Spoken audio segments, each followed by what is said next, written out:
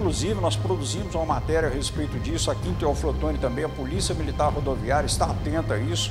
E aí vem um, um dos fatores que influencia, às vezes, nesses acidentes, Nicomedes, são as condições das estradas. E aí vem uma boa notícia, porque o DR tem investido muito na recuperação das rodovias e uma dessas e uma delas é essa aí, a MG 412 que liga a BR 418, MGC 418 a Talé. Vamos à matéria. A reforma da MG 412 já começou. O tráfego lento por conta das obras requer paciência dos condutores. É o que explica o comando da Polícia Militar Rodoviária. Os usuários das MGs que estão sendo restauradas, eles precisam entender que a pavimentação nova não muda a dinâmica da dirigibilidade. Então, antes de colocar a sinalização, que deve ser rápida, e mesmo após a colocação, eles devem dirigir em baixa velocidade. Sem a sinalização, o motorista pode inclusive ser enganado pelo traçado da pista, perder a direção e capotar o veículo. O diretor do DR, Departamento de Estradas de Rodagem, esclarece que é mais uma etapa do programa Provias para recuperar rodovias que cortam o Nordeste Mineiro. Mais de 100 milhões de reais serão investidos em mais uma etapa do maior programa de obra de infraestrutura da última década, o Provias. Essas rodovias que têm uma importância fundamental aí para a região, para o escoamento da produção de leite, de carne, de eucalipto, servem é, como o principal acesso dos mineiros às praias do sul da Bahia, serão totalmente recuperadas. No prazo de 12 meses, teremos essas estradas prontas, com mais segurança para todos os mineiros.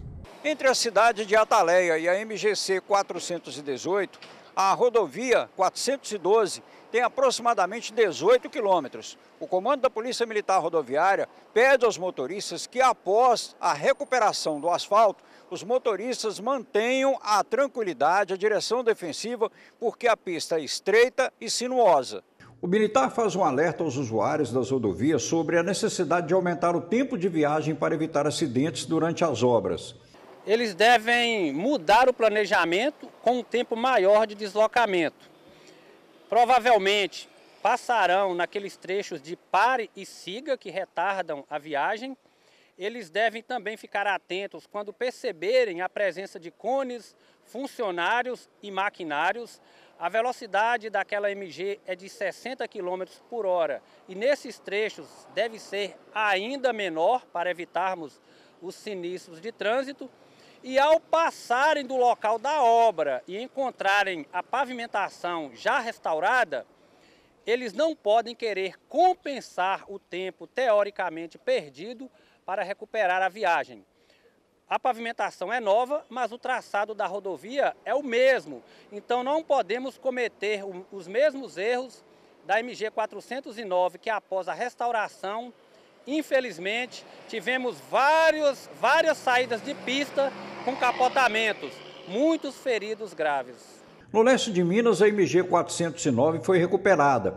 A rodovia liga cidades do Nordeste Mineiro à BR-116 em Teófilo A MG 311, que fica entre a BR-116 em Pescador, no Vale do Rio Doce, também foi recuperada.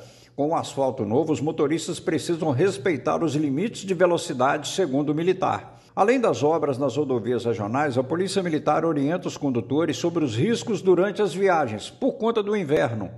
Em relação ao clima, chegamos no inverno, temos a previsão de nevoeiro, então os motoristas que saem muito cedo, na madrugada ou ali no final da noite, também devem planejar a viagem com um tempo maior, uma vez que a visibilidade é consideravelmente reduzida, esse motorista pode deparar com situações em que ele não tenha tempo de evitar o sinistro de trânsito.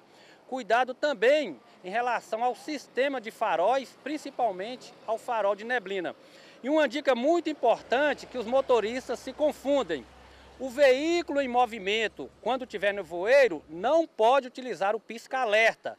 Pisca-alerta é para veículo parado ele pode confundir os demais motoristas, acreditando que está parado e causar um grave sinistro de trânsito. Eu passei lá, eu fui pescador sábado, né? pista tá zerada, viu? É gostoso você ver o retorno do, do trabalho do gestor, né? Quando você contribui. Isso é muito bom.